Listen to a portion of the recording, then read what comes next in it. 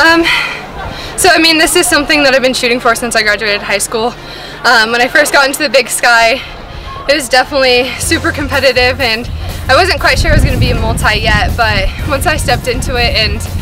just got to learn the events and got pushed by Ashley, I mean, all four years coming up to this year, I mean, even this year some too, so five years.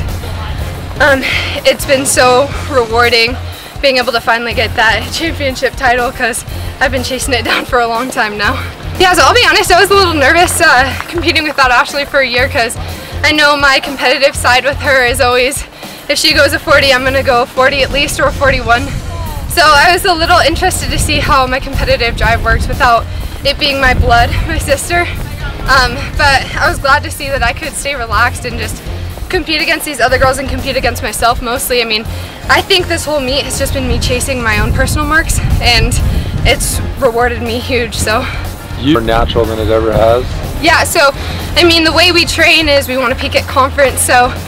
I've been pushing myself every meet and I've been coming really close to these PRs but haven't quite gotten them yet. And then today it all just, it clicked and I think like I said, I just, I relaxed and I knew that I had those marks under my belt. So just going out and getting them was really the really the part I had to do and it was pretty easy. Actually started out with long jump was my main event coming into college and I haven't PR'd since like high school. High school my junior I think I jumped in 18.9 and set the Colorado state record for 2A so I think that's something that I put the most pressure on myself for so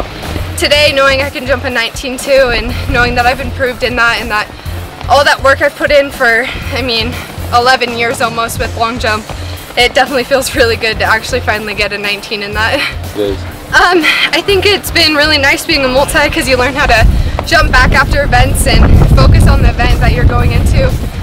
So me going into two more days of competition, I know I just have to take one event at a time and like I said, I started getting PRs this week and I know that I can do them again, which the PRs I got are in a lot of the open events I'm in, so I know I can get them again and I know what I'm capable of.